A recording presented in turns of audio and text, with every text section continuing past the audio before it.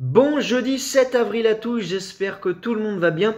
Il est clair que la défaite face à l'Inter dimanche a changé la fin de saison de la Juve, a changé les plans des Bianconeri, puisqu'en cas de victoire, la Juve aurait pu revenir pleinement dans la course au, Scudetto, et désormais, il y a la sensation qu'il n'y a plus grand chose à jouer pour euh, la Juve, mis à part aller consolider cette euh, quatrième place avec une petite avance face à la Roma. À l'heure actuelle, 5 points. La différence entre l'année dernière, c'est qu'évidemment, à l'heure actuelle, les Bianconeri ont leur destin entre leurs mains, mais il y a quelque chose qui est inévitable et quelque chose évidemment qui ne se discute pas, c'est que pour le moment, la saison de la Juve euh, est décevante, puisqu'elle a vite été éliminée en Champions League sortie prématurée en huitième de finale face à Villarreal. Et bah voilà, à l'heure où je vous parle, elle n'est quasiment plus dans la course au Scudetto. Après, évidemment, la vie de chacun, mais à l'heure actuelle, ça me semble extrêmement, extrêmement utopique parler euh, de Scudetto. Donc, la Juve va devoir intervenir en vue de ce mercato et faire d'autres choix qui porteront la Juve de nouveau au sommet euh, de l'Italie. C'est ce qu'ont fait les dirigeants de la Juve cet hiver avec le choix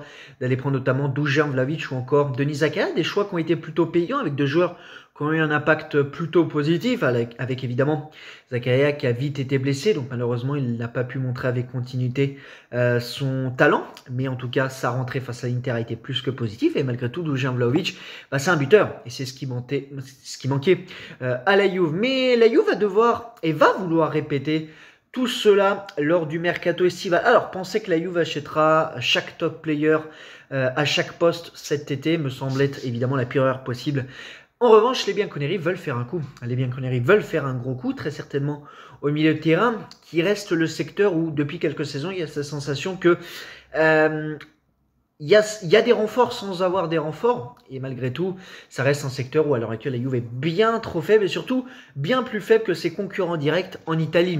Moins fort que l'Inter, euh, à l'heure actuelle intrinsèquement moins fort que le Napoli, le, euh, Milan a plus de qualité au milieu, donc voilà, si vous voulez aussi retourner au sommet en Italie, va vous falloir aussi un milieu euh, de qualité. Et il y a quelque chose qui est assez fort dans ce que veut la Juve, c'est qu'elle a les idées claires, alors qu'on partage l'avis ou non de la nouvelle direction d'avoir pris la décision de ne pas prolonger Paulo Dybala. C'est une décision extrêmement forte de ne pas continuer avec son vice-capitaine, qui est très certainement le joueur qui techniquement apporte le plus, qui techniquement euh, a quelque chose en plus de tout tous ses coéquipiers.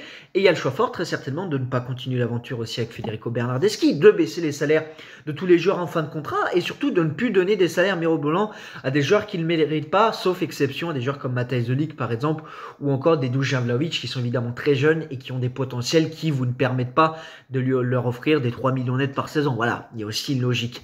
Donc des choix forts ont été faits, on en a parlé dans une précédente vidéo, n'hésitez pas à aller la voir donc euh, dans comment intervient la nouvelle nouvelle direction de la Juve. Quelle est la différence entre l'ancienne direction et la nouvelle direction? Et c'est vrai que plusieurs pistes ont commencé à se dessiner avec des pistes concrète, celle de Nicolo Zaniolo, que vous entendez euh, de toutes les sauces lors des dernières semaines, est une piste réelle. La Juve a eu des contacts au mois de janvier avec l'entourage de, de, et c'est vrai que l'exemple parfait, c'est Manuel Locatelli, où la Juve avait tenté d'avoir un canal préférentiel à tout, et c'est ce qui avait été fait, évidemment, avec l'envie du joueur qui avait énormément compté, l'accord de Carneval de trouver un accord au plus vite avec la Juve avait aussi euh, joué, mais attention, Sassuolo avait aussi ses intérêts, c'est aussi pour ça que plusieurs rencontres avaient été effectuées. Oui, la Juve avait un canal préférentiel sur Manuel Locatelli, qui lui voulait la Juve, puisque évidemment, vous le savez mieux que moi, Manuel Locatelli est un supporter, est un tifoso de Juventino avant d'être un joueur euh, de la Juve.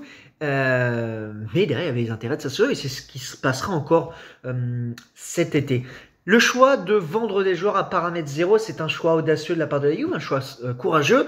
Alors évidemment, vous n'allez pas me dire, c'est pas Madine Juve. Milan a eu l'audace de séparer de Donnarumma à zéro, aura l'audace cet été de séparer euh, de Kessier. Alors évidemment, entre parenthèses, on rentre dans les détails. Oui, Milan avait fait des propositions de prolongation de contrat pour, pour prolonger le contrat de ses joueurs, à différence de la Juve qui n'avait pas fait de, prolongation, de proposition, de nouvelles prolongations de contrat pour monsieur euh, Paulo Dybala. Et la Juve va devoir se renforcer, nul doute. Alors, là-dessus, c'est une pure conviction, mais j'en ai eu la confirmation cette semaine. Beaucoup me demandent, mais voilà, est-ce que Alexandro va être euh, vendu? Est-ce que la Juve va vouloir se séparer des poids comme Adrien Rabiot, etc. Il y a une différence entre pouvoir et vouloir. Moi, j'ai zéro doute là-dessus si la Juve en avait la possibilité, elle se séparait tout de suite, dans l'immédiat, de joueurs comme Alexandro, de joueurs euh, comme Rabiot, de joueurs comme Arthur, sur certaines conditions. Vous l'avez vu, la Juve n'a pas fermé la porte cet hiver à se séparer d'Arthur. Pourtant, un des joueurs avec le plus de qualité, et c'est très certainement un des joueurs qui dérange le moins dans le milieu euh, de la Juve. Mais si d'ailleurs vous avez de bonnes offres pour des joueurs qui conviennent peu, euh, et si ces offres-là respectent euh, ce que demande la Juve, bah, il y a l'intérêt pour les Bianconeri d'aller se séparer de ce type de joueurs. Et encore une fois, si la Juve ne s'est pas, ne s'est pas séparée euh, de joueurs comme Alexandro, comme Adrien Rabiot, comme Ramsey, etc., alors oui, d'un côté, c'est dû d'erreurs précédente faite par l'ancienne direction, évidemment, d'avoir donné des salaires astronomiques à des joueurs qui ne le méritaient pas.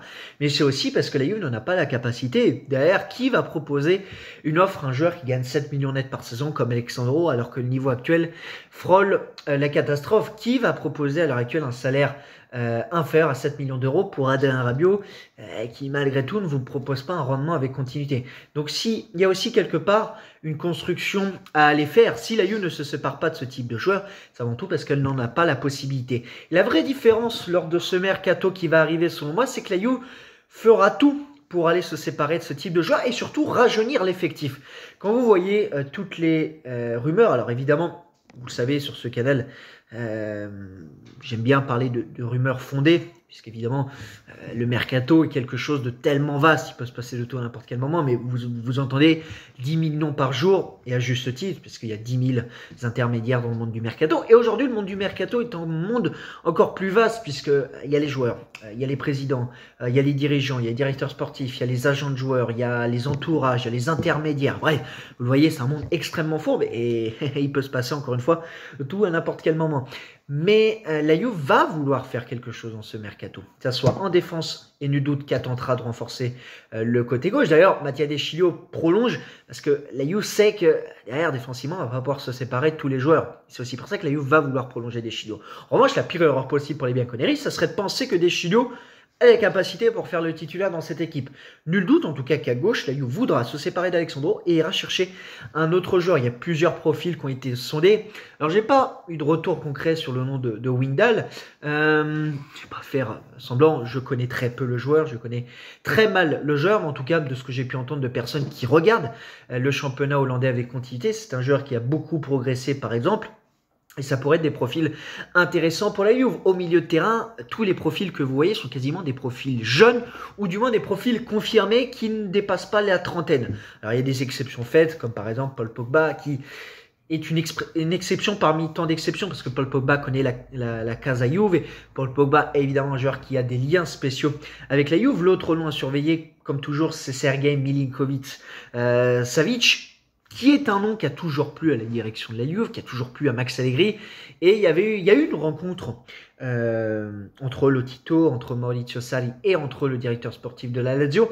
Et de ce qui filtre euh, du côté de Rome, c'est que la Lazio serait ouvert, euh, aurait ouvert la porte cet été à une vente de Milinkovic Savic. Inutile de vous dire évidemment, le prix est extrêmement élevé, mais là aussi on rentre dans un discours qui est évidemment extrêmement répétitif. Tous les ans, il y a cet intérêt concret ou pas concret, mais la Juve a toujours plus, euh, a toujours aimé le profil de Sergei Milinkovic Savic. que je peux vous assurer, c'est que le seul été où la Juve a réellement fait une offre officielle pour Sergei Milinkovic Savic, elle était euh, de 60 millions d'euros et c'était euh, l'été 2017.